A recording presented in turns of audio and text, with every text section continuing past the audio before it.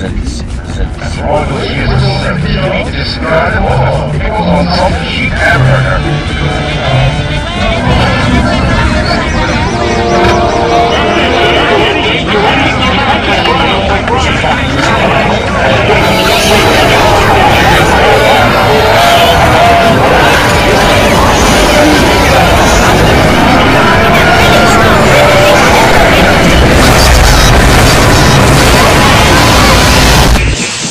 Where's the file?